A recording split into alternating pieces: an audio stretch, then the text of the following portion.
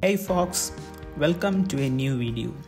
In this video, we are gonna see how we can sketch out any given image.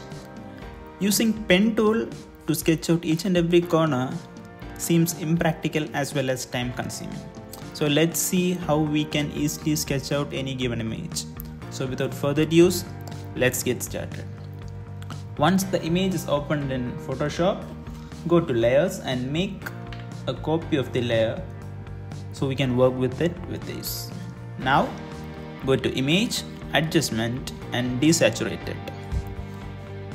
Now take the copy of a desaturated layer and go to image, adjustment and invert. Now set the blending mode to color dodge.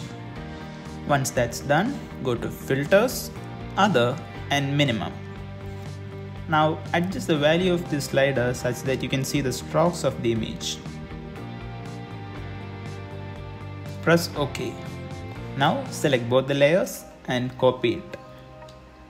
Once this is copied, right click and select merge layers to merge both the layers that we have copied.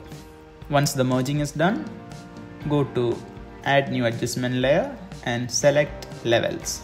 Now adjust the levels such that you get the entire stroke of the image.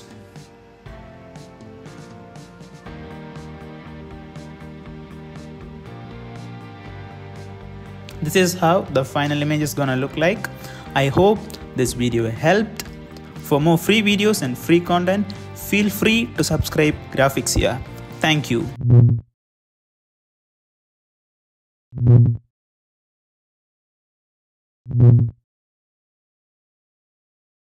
Thank you.